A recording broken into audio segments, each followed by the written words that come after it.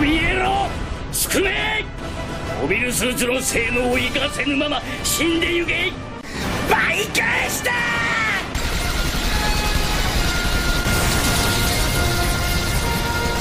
見た目は派手だがランクはガラ空きだぞ!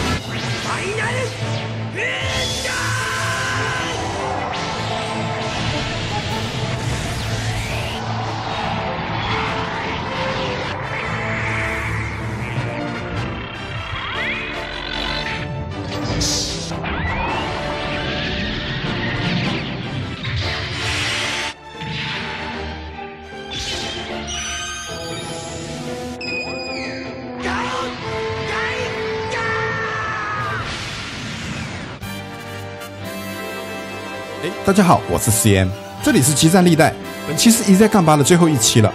本次我们来说说枪之类，分别是幺二点七 mm 旋转式机枪、一百 mm 机关枪和光束步枪。好，我们一个一个的来。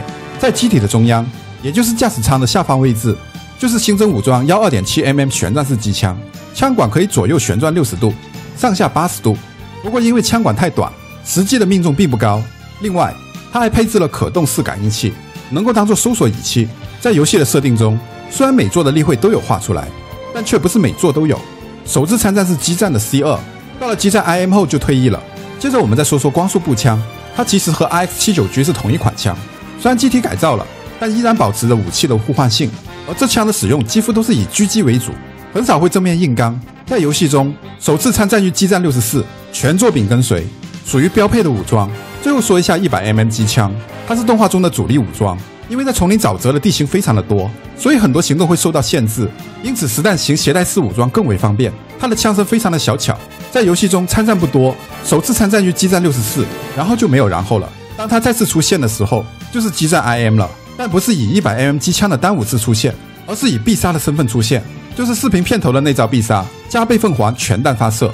说起这招必杀，就会想起它的命中率，游戏中是真的非常的低，毕竟在动画中，他使用这招时就没打中敌人。还被吐槽是瞎射，所以纯粹就是属于喊的大声没卵用的那种。这招必杀首次出现在激战 IM，一直参战到激战 O1，最后演变成了强袭攻击，与光束军刀合为一体。好，以上作品不在我的录制范围。高达系列代后面会有彩蛋，是部分索尼平台 SD 高达的动画。我的视频全程边玩边录，不做搬运。喜欢的朋友请点赞关注支持一下。我们现在开始吧。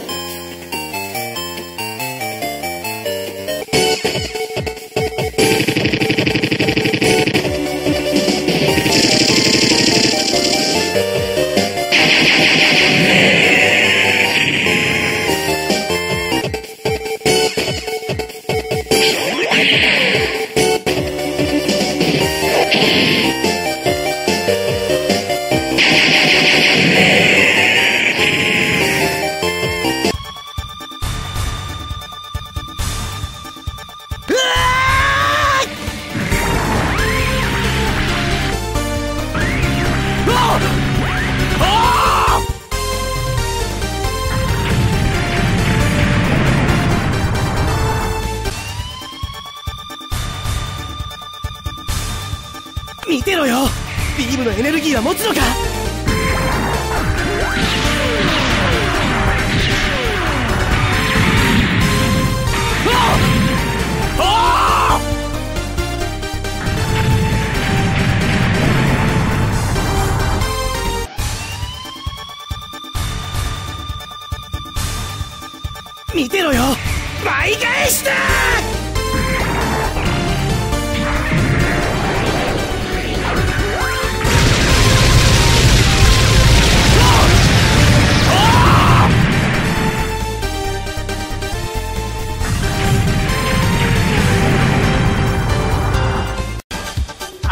の時の舞はごめんだ。見てろよ。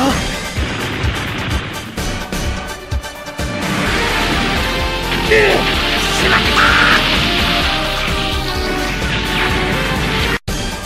た一か八かだやってみせる。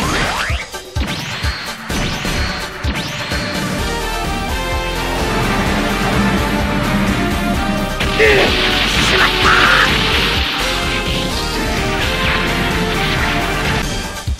てくるか。守ったら負ける。攻めろ！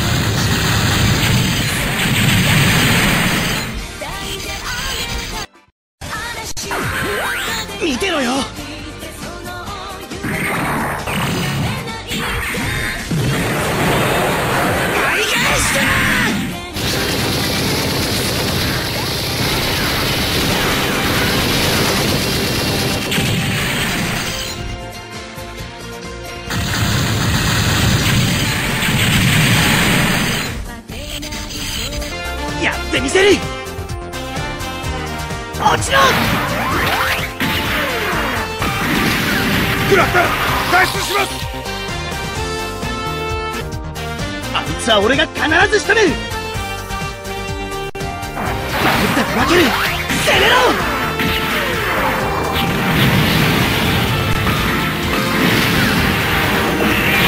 うわ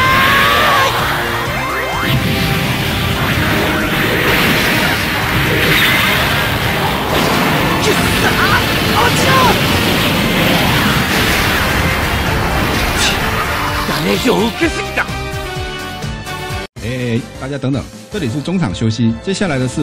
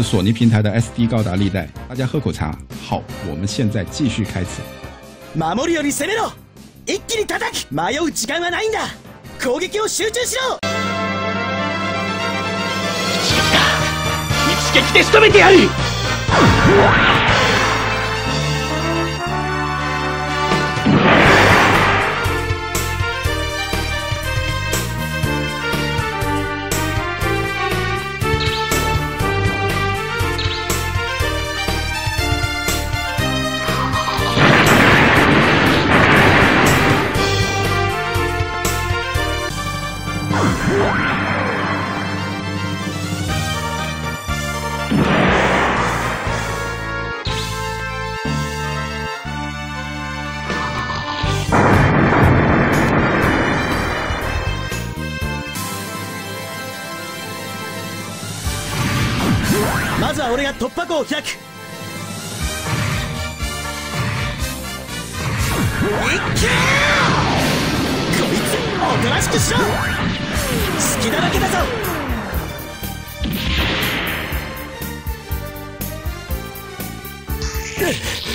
しくじったか。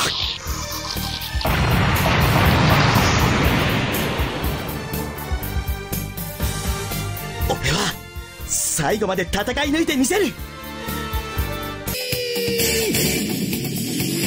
まずは俺が突破口を開く。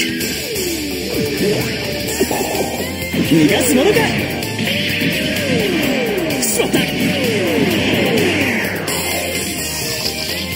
限界だと。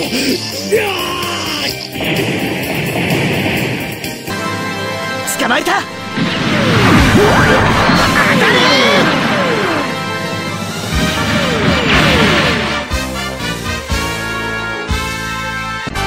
隙だらけだぞ。当たれクソ